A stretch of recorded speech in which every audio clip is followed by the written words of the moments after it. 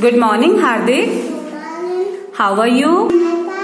Are you ready to make pink tie today? Let's start. You have to keep the blocks bigger to smaller. Now bring small one. Very good. Now more smaller. Very good. Next one. Very good. Next one. Yes. Very good. More smaller. Yes, keep it. More smaller. Yes, keep it. Keep it. More smaller.